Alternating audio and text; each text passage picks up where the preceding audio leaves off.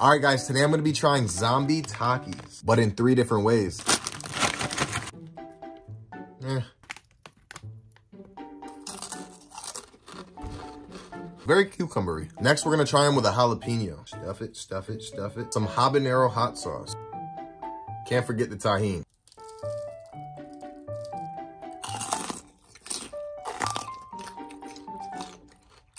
Can't really taste the Takis, but delicious. Next, we're gonna try them with, as Leia would say, sour salt.